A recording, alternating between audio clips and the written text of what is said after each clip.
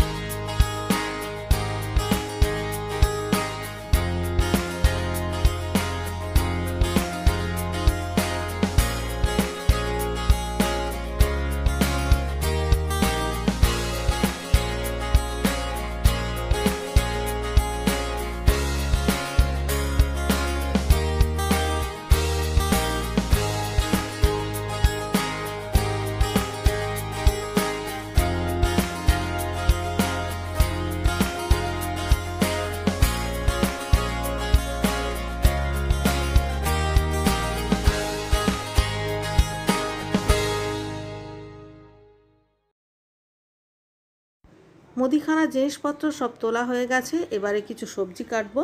কিছু সবজি বলতে আলু, উচ্ছে আর ভেন্ডি, এই তিনটে জিনিসই কাটবো। ইনফ্যাক্ট আমার বাড়িতে এখন শুধুমাত্র এগুলোই আছে। যেহেতু আমরা বাড়ি ছিলাম না, তাই খুব বেশি সবজি নেই। সাধারণত এরকমটা আমার সঙ্গে হয় না, আমার বাড়িতে অনেক অনেক সবজি থাকে। তো সব কেটে নিয়েছি, আলু, উচ্ছে, ভেন্ডি। মোটামুটি অফিস ঠেকানোর মতো ব্যবস্থা করে নিলাম। মানে গুছিয়ে রাখব এরপর রেখা আসলে তারপর তো রান্না বান্না এখন আরেকটা কাজ আছে। এখন আটা মেখে রেডি করে রাখব। তবে তার আগে কেটে ধুয়ে রাখা সবজিগুলোকে ঢাকা দিতে হবে। না হলে ওগুলোকে আমাকে আবারও ধুতে হবে বেশিক্ষণ আলগা থাকলে।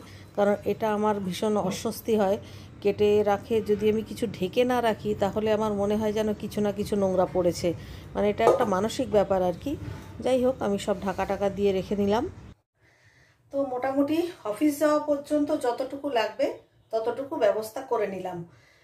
আর এখন তো কিছু রান্না করব না, আগেই বললাম, রেখা আসবে, গ্যাস মুছবে, রান্নাঘর পুরো পরিষ্কার করবে, তারপরেই রান্না বান্না তো আর এখন সময়টাও মাত্র সাড়ে সাতটা না পৌনে আটটা বাজে, তো এখন মোটামুটি আমার কাছে এক ঘণ্টা সময়, কারণ রেখা সাড়ে আটটার আগে আসে না। তো এইবার আমি একটু ঘরে যাব, ঘরে গিয়ে ঘরের কিছু কাজকর্ম করব। তো চাও খাইনি? আসলে এখন তো কেউ ঘুমের থেকে ওঠেও নি মানে সোনা, রিকি সব ঘুমাচ্ছে। ওরা একটু পরেই উঠবে সবাই, উঠলে তারপরেই চা খাব। তো আমি সকালবেলা শুধু গরম জলই খেয়েছি, আর এখন একটু চা খিদে পাচ্ছে, কিন্তু এক্ষুনি চা তো একা একা খাব না, আর একা একা চা খেতে ভালোও লাগে না। তো নর্মালি আমরা, আমি আর সোনা একসঙ্গেই বসে চা খাই। তো চলো, এবার ঘরের কিছু কাজকর্ম সেরে আসি। চলে এলাম ঘরে, আর এখন আসলে বেশ কিছু জামা কাপড় আছে যেগুলোকে আমি ভাজ করব। কারণ বললাম না, আজ কয়দিন ধরে প্রচুর প্রচুর কাছাকাছি করছি এবং ঘরে বাইরে সমস্ত মেলে দিচ্ছি। এই যে জামা কাপড়গুলো এগুলো কালকে রাত্রে ধুয়ে মেলে দিয়েছিলাম ঘরের মধ্যেই। তো ফ্যান চালিয়েই শুকনো করেছি। তো এখন এই জামা কাপড়গুলোকে তুলে নিলে মেশিনে এখন আবারও ভর্তি আছে, সেগুলোকে তাহলে মেলতে পারব। যার জন্য ভাবলাম এখনই জামা কাপড়গুলোকে একটু পাট করে জায়গা মতো রেখে দিয়ে নিই। তো চলো, এই কাজগুলো সেরে তারপরে আবার তো কিচেনে যাওয়ার ব্যাপার আছে, কারণ রান্নাবান্না শুরু করতে হবে। ইতিমধ্যে রেখা এসে কাজ করে চলে গেছে, আর আমি আবারও চলে এলাম কিচেনে। আর এইবারে রান্না তো শুরু করতেই হবে, কারণ অফিসের ব্যাপার আছে। তো যা যা সবজি কেটেছিলাম সেগুলো তাহলে এখন ফটাফট রান্না করে নিই।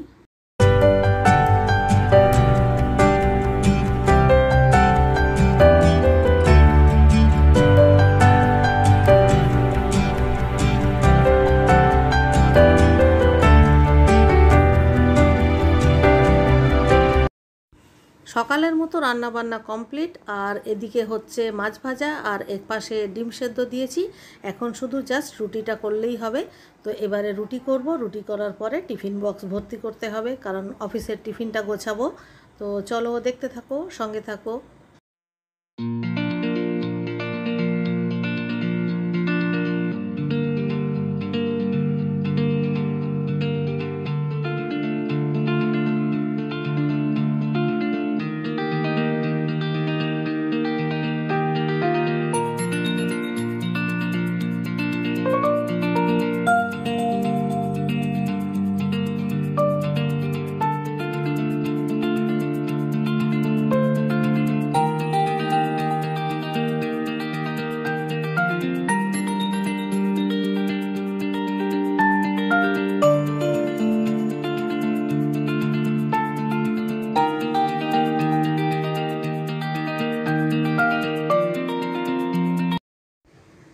কাজ সেরে এবারে চা খাব। মানে শান্তি করে চা খাওয়া যাকে বলে আর কি। তো এরপরে ব্রেকফাস্ট আছে, তারপর আরও কিছু কাজকর্ম সেরে একেবারে দেখা হচ্ছে তোমাদের সঙ্গে লাঞ্চের প্রিপারেশানে চলে এলাম লাঞ্চের প্রিপারেশান করতে। বাদবাকি রান্না তো সকালে হয়েই গেছিল, এখন শুধু মাছ রান্না করব। এখন রান্না করছি ম্যাকরেল মাছ। আলু দিয়ে ম্যাকরেল মাছের ঝোল। অনেকেই ম্যাকরেল মাছটা ঠিক চেনে না, কিন্তু এই মাছটা কিন্তু খুবই টেস্টি হয় আর এই মাছে কাঁটা একদমই থাকে না। তো যারা খায়নি কোনো দিনও তারা এটা জানে না, কিন্তু যারা খেয়েছে তারা তো খুবই ভালো করে জানে, এই মাছ ভীষণ ভীষণ টেস্টি হয়। তো যাই হোক, আমার তো ঝোল রান্না হয়ে গেছে। তো এবারে ঘরে যাব, ঘরে গিয়ে একটু রেস্ট করব, কারণ সকাল থেকে একেবারেই রেস্ট হয়নি। তো চলো, ঘরে গিয়ে দেখা হচ্ছে। তো রান্না বান্না সব কমপ্লিট। আর এবারে স্নান করতে যাব। তবে ভিডিওটা আজকের মতো আমি এখানেই শেষ করে দিচ্ছি। কারণ অনেক সকাল থেকে তো আজকে ভিডিওটা স্টার্ট করেছি। যার ফলে আরও যদি ভিডিওটা টানি, তাতে ভিডিওটা অনেক লেন্দি হয়ে যাবে। ওই জন্য ভিডিওটা আজকের মতো এখানেই শেষ করে দিচ্ছি। ভিডিওটা ভালো লাগলে সেই লাইক কমেন্ট শেয়ার করতে কিন্তু ভুলো না প্লিজ আর পরবর্তী ভিডিওতে তো আবারও দেখা হবে। ততক্ষণের জন্য সবাইকে tata good bye good luck and love you all